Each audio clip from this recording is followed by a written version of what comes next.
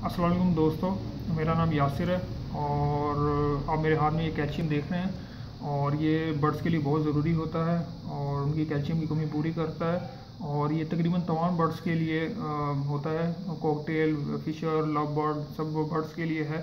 तो तो इसको आप मस्त लगाएँ अपने केजेस में और इसको हैंग करना भी आसान होता है और इसकी कीमत भी कोई ज़्यादा नहीं है। पाँच रुपये दस रुपये पंद्रह रुपये मुख्तलिफ़ कीमत में, ये दस्तियाब है मुख्तलिफ़ शेप्स में।